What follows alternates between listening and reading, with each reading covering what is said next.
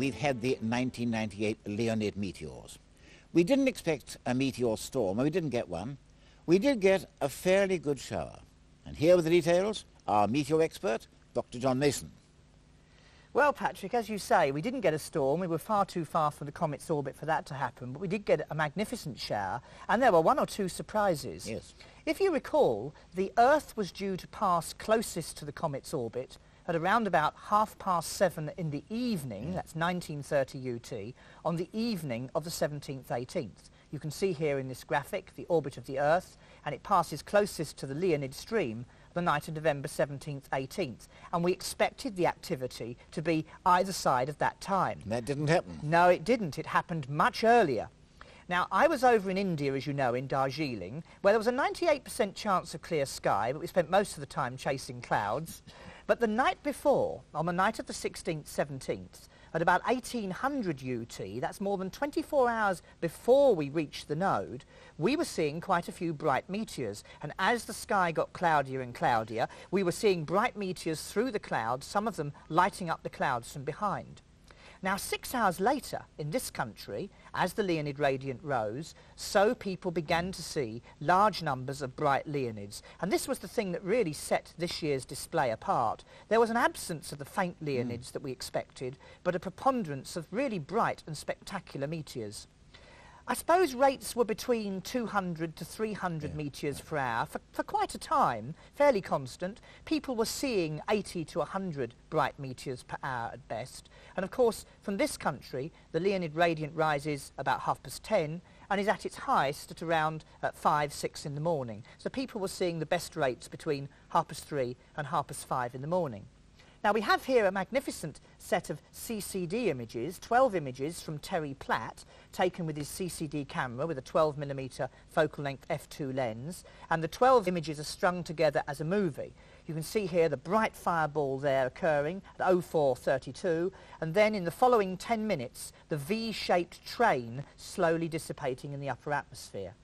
There were two really bright Leonids visible from certainly the southern part of the country, one at 0429, the other at 0459 UT. I saw that one, And these were both bright enough to light up the landscape and even cast shadows. And John Randall, who was observing in Selsey, took this magnificent sequence of pictures of an almost head-on Leonid, the very bright one at 0459, and the expanding train in the 10 minutes or so after the fireball occurred. And you can see it looks really like an expanding smoke ring there because of its almost head-on appearance. Now, of course, I was over in India. Um, I borrowed an image intensifier from Andrew Elliott and, and uh, taken it with me. We managed to get it set up despite the problems with voltage fluctuations and frequency changes and power cuts. And I did manage to get um, quite a lot of nice bright Leonids uh, on tape. And you can see in this uh, sequence here, there are some 16 of bright Leonid meteors. One or two are exceptionally bright. And this really does show that the uh, faint meteors were absent and the bright meteors were really in preponderance. Uh, in this uh, sequence, the Leonid radiant is over to the left, and the meteors are shooting up from left to right through Gemini and into Orion. We think that the relative absence of faint Leonids this year was because we were running through old dust, mm. not fresh yeah. dust recently laid down by the parent comet Tempel Tuttle. The older a meteor stream becomes, the more of the small particles get lost, and so you end up with a preponderance of bright meteoroids, and that's what we saw this year. Now, another surprise was the length of the activity. For example, we were seeing the start of the plateau, the fairly steady level of activity, at about 1800 UT on the uh, night of the 16th. It was still going some six hours later as the radiant rose from here. It was well visible all through the early morning hours of the 17th from Britain and was going on even as dawn broke. And we can see that in these radio observations obtained by Tim Wright from Pagham in West Sussex. He was tuned to a radio transmitter in Poland, and every time a meteor occurred over the North Sea, some of the signal was bounced to his receiver. Now you can see here that before the Leonid radiant rose, activity was fairly low. But as the Leonid radiant comes up at just before 11 o'clock, so meteor activity becomes very high indeed. And every single one of these spikes is a meteor occurring over the North Sea. And you can see that the activity goes on into the early morning hours, 5 o'clock, 6 o'clock, after daylight, 7 o'clock, 8 o'clock, And it continues right through until about midday on the 17th, where it begins to die down. And so on maximum, expected maximum night, the 17th, 18th of November, activity was by then fairly low, no more than 30 to 40 meteors per hour at best. And so it was really over much earlier than we expected, a long plateau, 16 to 18 hours long, and the midpoint of that was 14 to 16 hours before the node crossing. Well, on the night of the 17th, I was completely clouded out, unfortunately, because other people did see something, but certainly the storm, the shower was much earlier than we expected. Now, why do you think that was? Well, I think it's because we were a long way outside the comet's orbit. We were running into older debris. It's been moved out of the comet's orbital plane by perturbations, and so that's why it occurred much earlier than we expected. As to what will happen next year, yes. it's difficult to say. I'm sure we will get a very respectable shower, at least as good as this year's, perhaps better.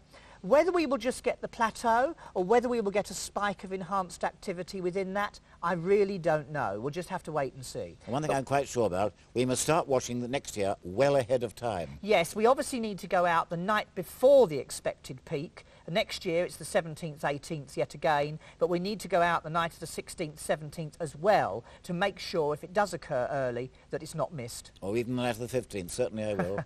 John, we just hope for clear skies next year. Thank you very much. Thank you. So much for the Leonids. One or two news notes. As we know, the International Space Station has been started, and here's the launch of the first Russian component, Zarya. And this time, that went off without a hitch. Now being joined by the Unity, the second part, the first NASA part, and that is being joined up now. So let's hope for great things there. Meanwhile, don't forget the great telescopes. The VLT, or Very Large Telescope in Chile, sending back superb pictures. Look at this area, the star-forming region in the Milky Way. And remember, they're so far using only one of the four 8-meter mirrors. And don't forget the Hubble Space Telescope, still doing magnificent work. And here, the Hubble Southern Deep Field, showing galaxies more than 12,500 million light years away. We are now reaching out into the far depths of the universe. Last month, we talked about the Royal Greenwich Observatory, how it was founded as a navigational aid finding your local time, done by observing the positions of the sun, moon and stars. And you know, basically, that is still true today. There are two things you've got to bear in mind, the Earth's rotation and its movement around the sun. And timekeeping by the stars is a very, very ancient science. In medieval times, people built things called nocturnals, and you can make one for yourself, and it's great fun. At this stage, I'm delighted to welcome our most famous astronomical historian, Dr. Allan Chapman. Welcome, Allan. Good evening, Patrick. It's a great pleasure to be here. First of all, what exactly is a nocturnal? A nocturnal is a star clock, and the earliest surviving ones go back to about the 15th century, and they were usually by soldiers, by sailors, and by travellers, and people who needed to tell the time at night, perhaps without needing to strike a light to read something with. And they were, in fact, the first and the most direct form of star clock. Well, perhaps it's time for a quick reminder. The Earth spins round, once in roughly 24 hours, and northward, the axis points to the north pole of the sky, marked within one degree by the fairly bright star, Polaris, in Ursa Minor, the Little Bear. Easily found by using the two pointers in the Great Bear, they show the way straight to Polaris. And the Great Bear is so near the pole star that it never sets over Britain. It's what's called circumpolar. And because the Earth turns, the stars appear to move across the sky, and take a time exposure, like this one, 30 minutes, and you'll see the star trails there. Lucky we have got a bright pole star. In the southern hemisphere they haven't. There's no bright south pole star. But we are lucky in the north. And therefore, the nocturnal depends upon using the two pointers as a kind of clock hand. Absolutely. In fact, the instrument consists of a handle which mounts a main scale which is divided into the 12 months of the year. And it's very important to make the instrument work correctly to start the instrument off with the 5th of March absolutely at the top. Why March the 5th particularly? Well, this is caused by the precession of the equinoxes, and it just so happens that where we are in time, March the 5th suits the date. But if you'd have been around in the days of the ancient Egyptians or in the days of Julius Caesar, it would have been a different date. You mentioned precession. Well, as the Earth spins, the axis alters its direction slightly because of the pulls of the sun and moon, and it goes round like a boy's gyroscope that's starting to topple. But of course, a gyroscope precesses, goes right round in a few seconds, and the Earth takes 25,000 years. Yes, and of course this means therefore that if you put March the 5th at the top, the instrument will actually be useful for about 100 years, but it wouldn't be, for instance, in two or 300 years. Then in addition to the plate of months, one has a plate of hours, and this plate has to cover the maximum hours of winter darkness from 4 o'clock on a winter's afternoon to 8 o'clock on a winter's morning, and with midnight always shown as a large tongue in the middle. Traditionally, the instrument had points for the hours so that you could read it by night by touch.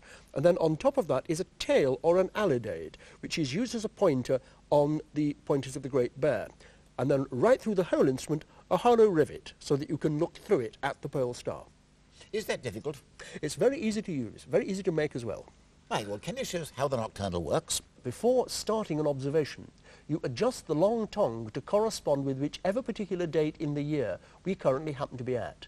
Then you wedge it fairly fast with a bit of wood or a bit of cardboard or something like that. Then you hold it up to your eye and you notice in the center of the instrument is a hollow rivet. And you look through that hollow rivet at Polaris. And then when you've got it adjusted, you turn the long handle, or what is called technically the alidade, until it corresponds with the pointers of the Great Bear. And when you've seen that, you notice, of course, that there will be on the inside, or the long side of the alidade pointing to the pole star, it will correspond to one of the notches. And that will either be a notch before or a notch after midnight, and that will give you the time.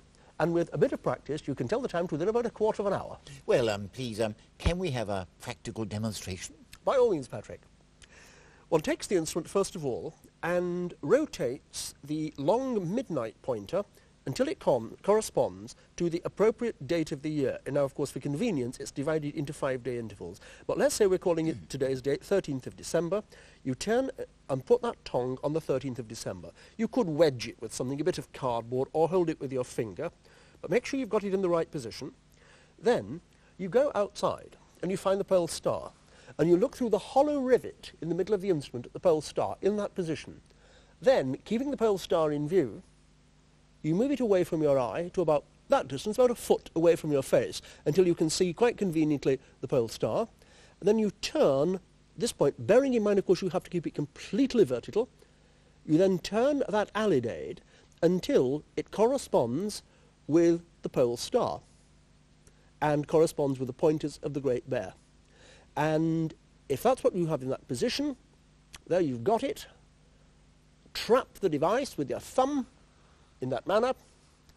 Run your finger along the edge, bearing in mind you're doing this in the dark. You find one point there.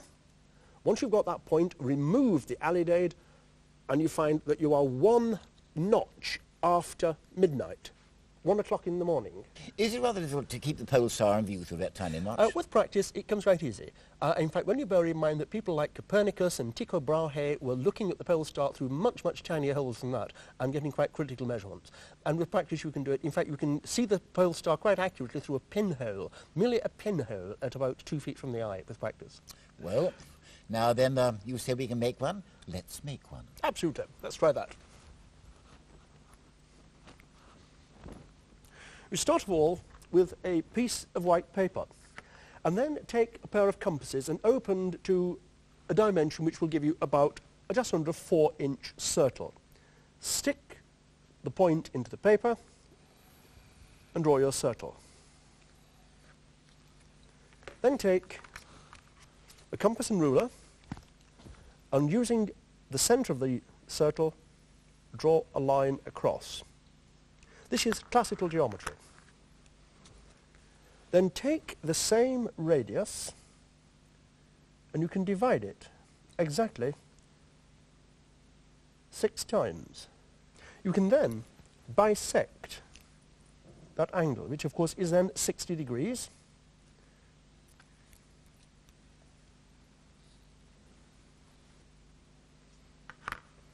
And then join up each of those lines. What you've now got is a circle divided into the 12 months of the year. If you then draw a smaller circle, and this circle will be about three inches in diameter. When you've drawn the smaller circle, you then take the next stage in the development where you divide it around the edge into 24, which of course you can do exactly by the same technique of dividing into 12, but just divide each one further. And then on the circle, you can work out a series of points. Now, we've done this beforehand, and we've worked out a series of parts. So if you then make the instrument onto a sheet of paper like that and cut it out, the part we've just shown is this one, where you have all the months shown with March the 5th at the top, and with the hours of maximum winter darkness in here. You then cut out the tail or the alidade, whereby the instrument has a pointer, so that one goes on top of the other, and this eventually onto there. But to make a hollow rivet, that's the problem. Now, one of the ways in which you can make a hollow rivet is to take a piece of thin paper, take a nail, about a three or four inch nail, fairly good diameter, wrap it around like that, take a strip of sticky tape. There you've got a hollow rivet, a simple hollow rivet. Now what we've done already is to then take these parts and stick them onto a piece of thick card and then cut them out. When you've cut them out, they take on a nice solid rigid form and then all you have to do is to put them together. Insert the rivet, then take the hour scale, then take the alidade, and you can perhaps just solidify this slightly by something like a bit of plasticine or Blu Tack just at top and bottom, and there you have your working nocturnal. Allan, thank you very much, and I wonder how many people are going to make nocturnals for themselves. Um, if you'd like Allan's fact sheet showing you how to make a nocturnal, then send a large stamped addressed envelope marked nocturnal to The Sky at Night, BBC Television, London W12 7TS. And the best of luck. Don't forget, if you want the latest astronomical information, then dial up our Skynet information line, 0891 800 330, or Ceefax, page 620. You know, I'm looking forward to next year. There is so much going to happen. The new probes to Mars, the space station, great new telescopes, the Leonids, the transit of Mercury, and of course the total eclipse of the sun. And much else besides. I mean, so much going on now. For example, next month I'll be joined by Ian Morison. We're going to talk about communicating with other worlds. So roll on 1999. And meanwhile, since it is our last Sky at Night of 1998, it may not be too early for me to wish you all a very Merry Christmas and a Happy New Year. Good night.